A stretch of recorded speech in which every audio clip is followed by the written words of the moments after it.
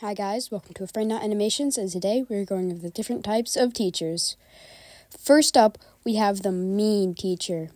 Bro, somehow these teachers always seem to make me the saddest. And they always seem to give so much extra work.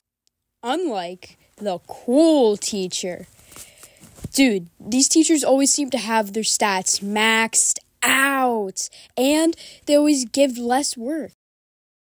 But not even that teacher compares to the teacher that hits the subscribe and like button. Look how sharp that jawline is. Look how much you want to be like them. So please hit the subscribe and like button, I'll catch you in the next one.